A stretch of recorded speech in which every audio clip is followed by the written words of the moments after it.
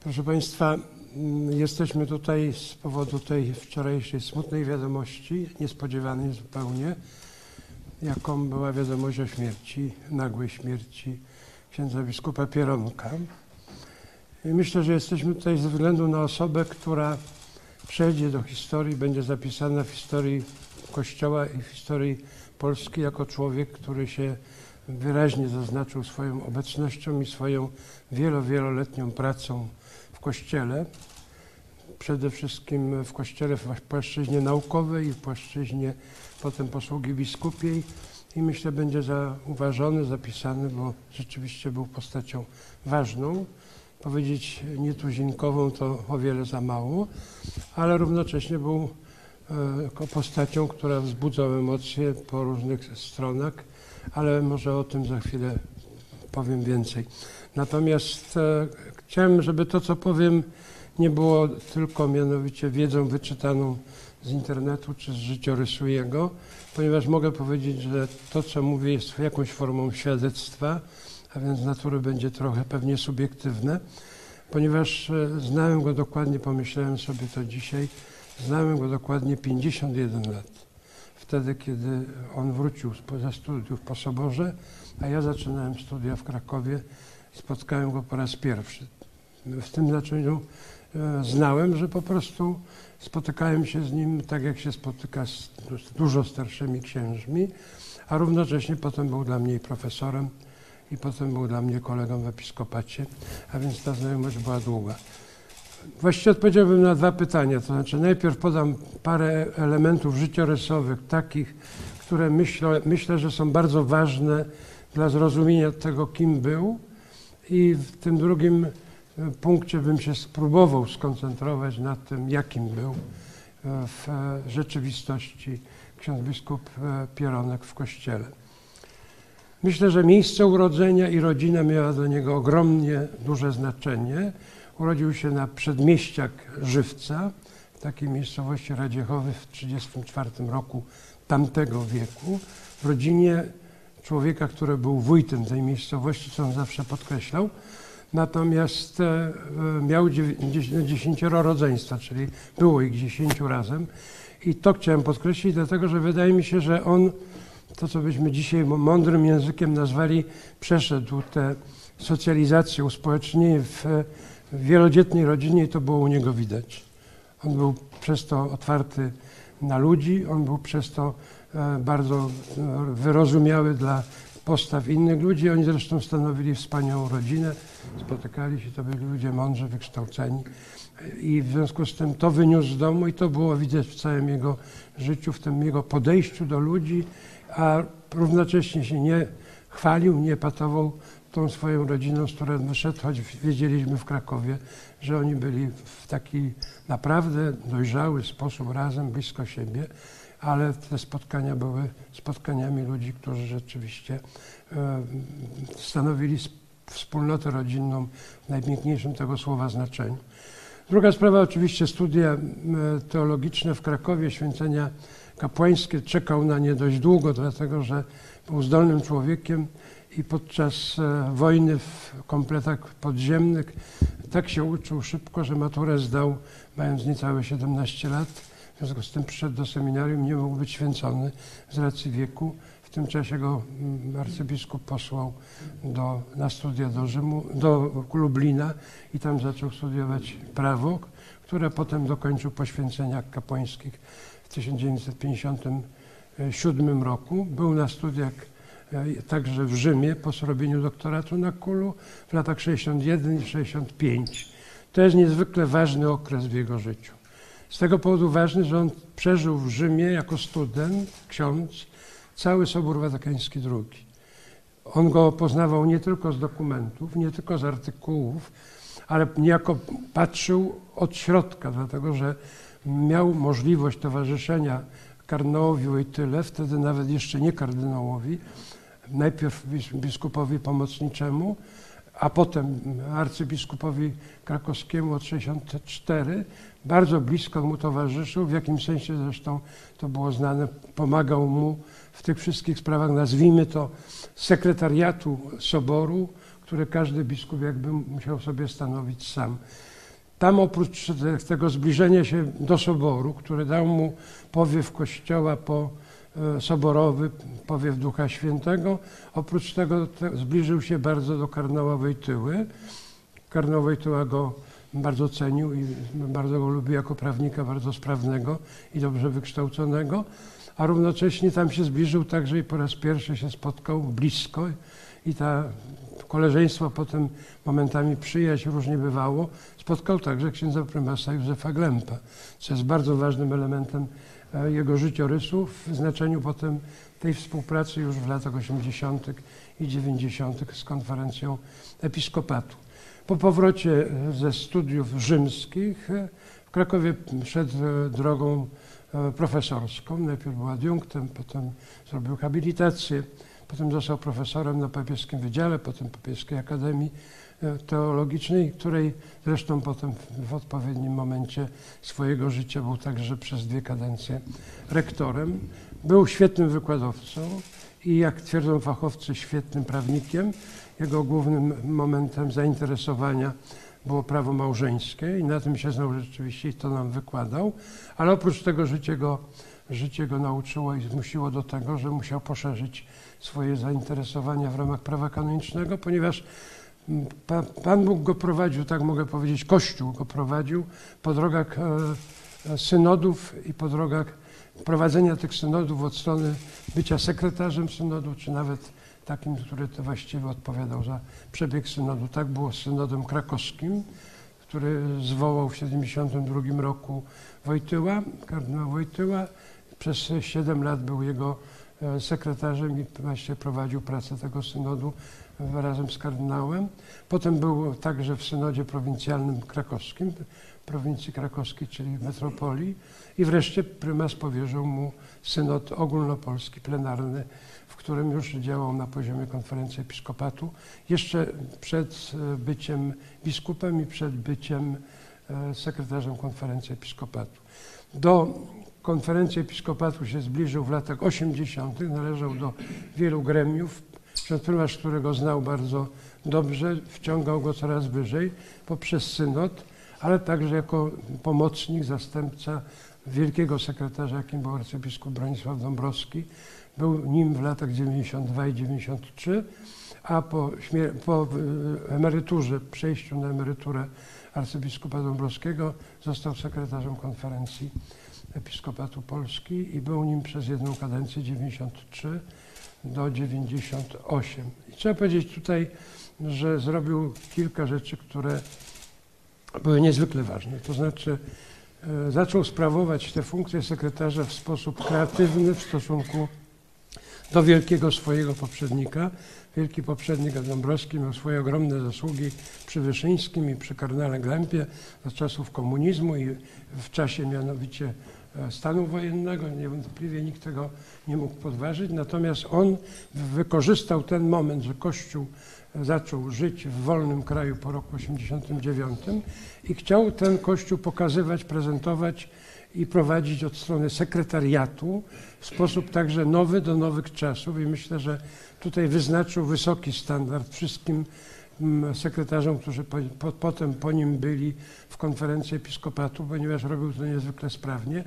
Czasem rzeczywiście robił to w tym znaczeniu kontrowersyjnie, że jakby wychodził z takimi rzeczami, którym, e, o których się nawet e, nie marzyło biskupom, e, że mogą być mówione publicznie, dlatego że on wypracował taki model, w którym to modelu sekretarza przez pewne pierwsze lata był także rzecznikiem episkopatu.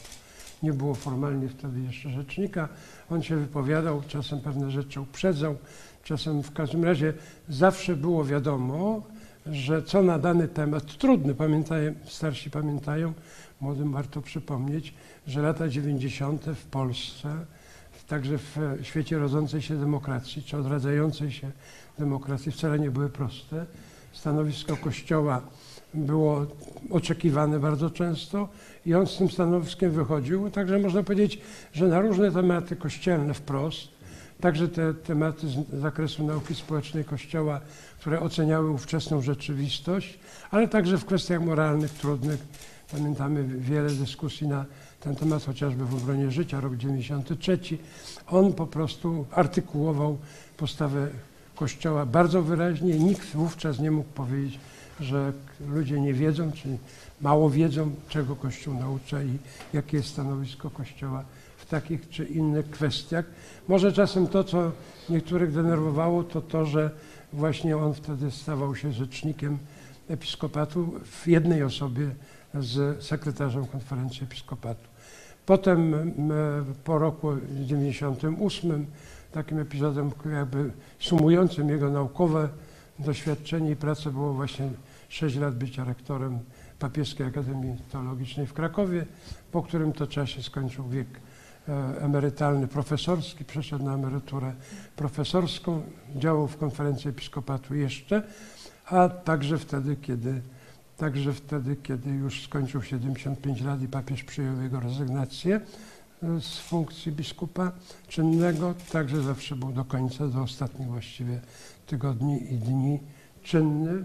Był rzeczywiście człowiekiem, który bardzo się udzielał jako biskup kościoła w kościele krakowskim, ale nie tylko w posługach biskupich, na którego zapraszano bardzo często, ale równocześnie był takim żywym komentatorem rzeczywistości, dlatego że e, potrafił to robić, obserwował rzeczywistość, dużo czytał, także pisał, zwłaszcza w krakowskich gazetach stałe komentarze na różne tematy, także tematy społeczne.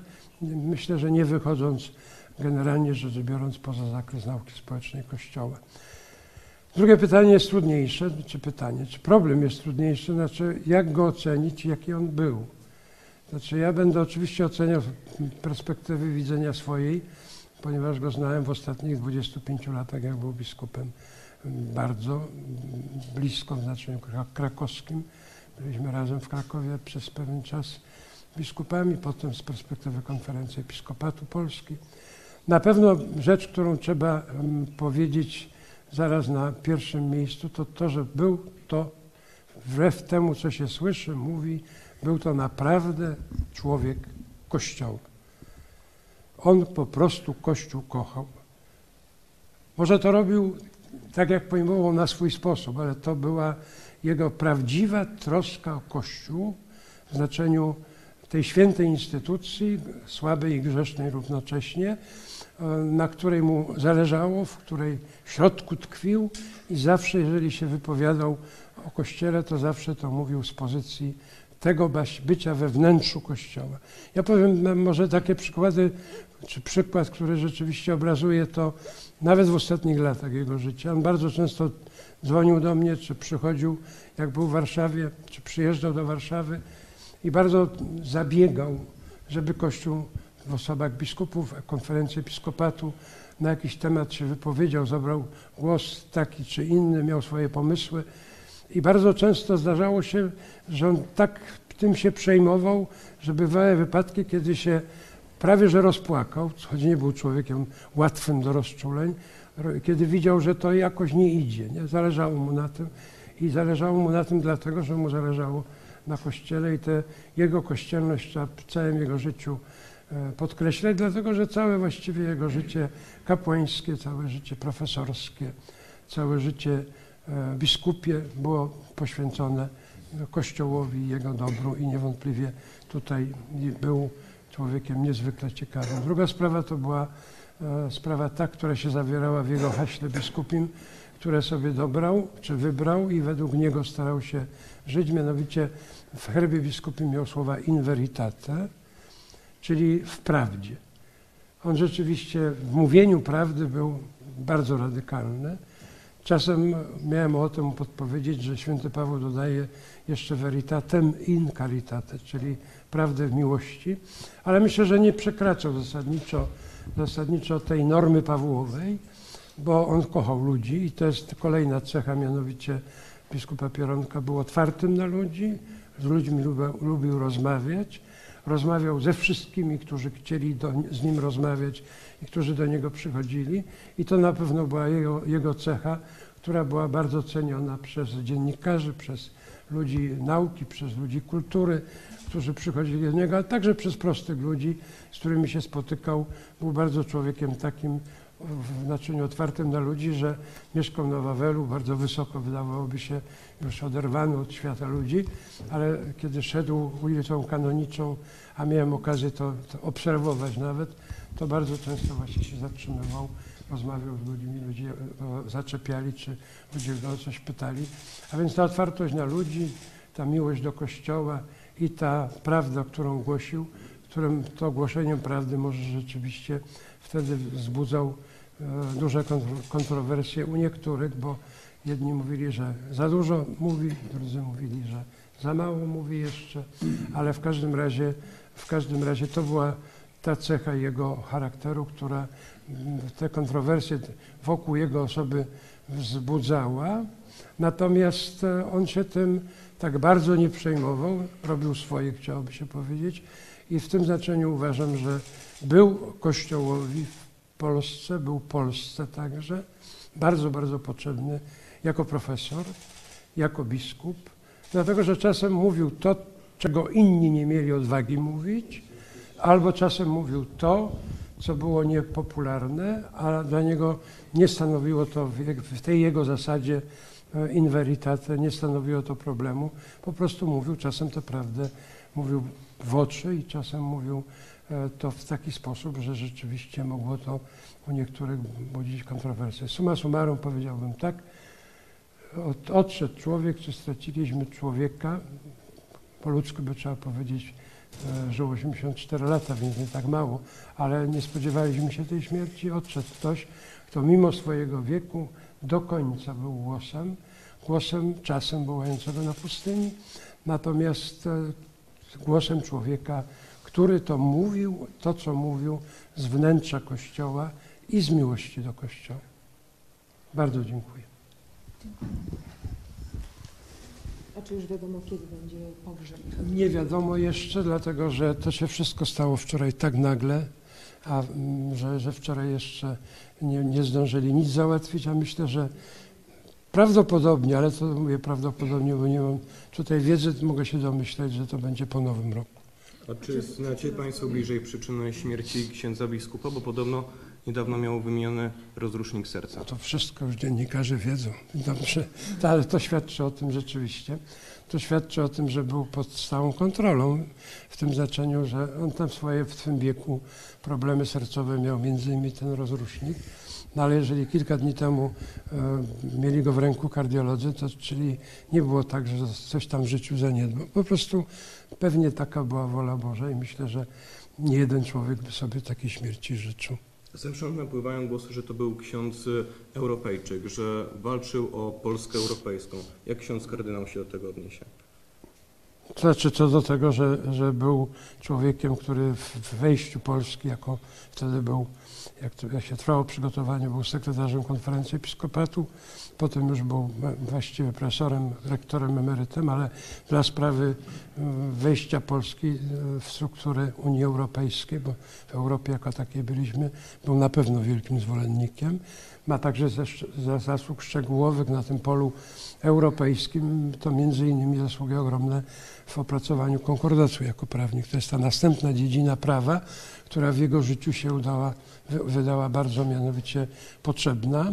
I rzeczywiście zależało mu bardzo i te jego konferencje, które robił przez kilkanaście lat w Krakowie we wrześniu zazwyczaj, konferencje na temat Unii Europejskiej, ale na temat Europy Zjednoczonej, zawsze dotyczyły tego, co się nazywa fundamentem aksjologiczno, ale także religijnym e, Zjednoczonej Europy. On doskonale wiedział, że i to podkreślał, każdy temat kolejnej konferencji był na temat tego, co może dać Kościół, co powinien dać Kościół Zjednoczonej Europie, bo doskonale wiedział, że jeżeli Europa się będzie jednoczyć tylko politycznie, ekonomicznie i militarnie, to wcześniej czy później będzie miała duże problemy. Więc dbał o ten fundament i w tym znaczeniu także był Europejczykiem z krwi i kości. Kardynał mówił, że zależało na pewnych sprawach y, biskupowi, a y, co wzbudziło te łzy, o których kardynał wspominał, o coś, o coś mu chodziło, o coś walczył, chciał, żeby coś było powiedziane? Znaczy on chciał, jemu zależało bardzo na tym i też ze, ze tą troską i konferencji episkopatu i w ogóle kościoła jako takiego, jemu zależało na tym, żeby e, zasada zapisana w Konstytucji, zasada zapisana w konkordacie, czyli zasada autonomii i współpracy, była przez obie strony respektowana. Czyli żeby Kościół i wspólnoty rządowe, samorządowe, europejskie szanowały swoją autonomię wobec Kościoła i Kościół wobec e, wspólnoty e, państwowej świeckiej, ale równocześnie, żeby nie patrzyły na siebie jako wrogowie, tylko żeby tam, gdzie jest pole współpracy, żeby pracowali. Konkretnie bardzo mu zależało na tym, żeby, żeby ci, którzy są po stronie i państwa, i Kościoła, w swoich wypowiedziach i w swoich działaniach zachowywali właśnie jedno i drugie, czyli autonomię i współpracę. Zresztą bardzo mocno wytykał także Kościołowi, ludziom Kościoła, księżom, jeżeli przekraczali, przekraczali tę zasadę w mówieniu o sprawach życia społecznego, czyli wychodzili poza e, e, zakres, nazwijmy to, metapolityki, a wchodzili na nie swoje pole, choć tak mówiąc prywatnie, jemu czasem też się zdarzało powiedzieć za dużo w tym temacie, dlatego tutaj pod tym względem e, nie był do końca takim przykładem i świadkiem, jak mianowicie mówił w swoich teoretycznych rozważaniach. Nie chciałbym, nie chciałbym oczywiście mm, tutaj robić mianowicie laurki y, do, do tego, że przy okazji pogrzebu śmierci będziemy robić, rozpoczynać już od razu proces beatyfikacyjny, więc chciałbym, żeby go, pokazać go jako człowieka z krwi i kości. On takim po prostu był.